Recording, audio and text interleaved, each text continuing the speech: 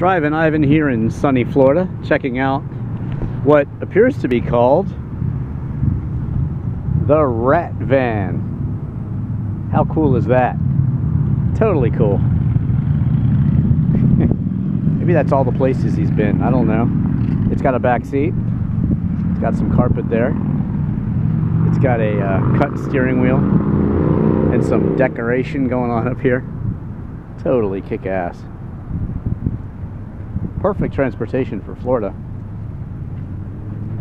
Maybe uh, some smokestack exhaust too.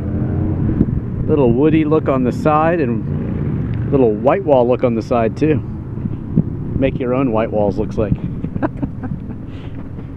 that is cool. The Rat Van. Thanks for watching. Don't forget to subscribe. I'm Drivin' Ivan.